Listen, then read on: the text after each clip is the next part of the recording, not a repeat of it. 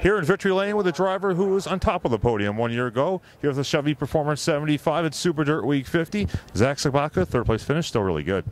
Uh, yeah, it, it feels good to be back up here. Um, I would have liked to be two spots better, but obviously, uh, just being up here in the top three, even even in the top five, uh, all these guys were good that were in this race. Um, we came up on lap cars that I've contended for wins with, so uh, it, it it's definitely it's, it feels good to be up here again, uh, especially back to back and on the 50th. Um, it, it's just good to be up here.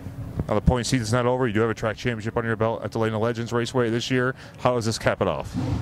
Uh, it's definitely. I don't. I don't really know where I stand at points right now. So, um, there's one more race left at Brockville that we got to go to next weekend. So, um, we'll see how that goes. It'll, it'll definitely. That's one of my main goals here coming up is to win a series uh, championship for the series. So, uh, that's that's the next main goal.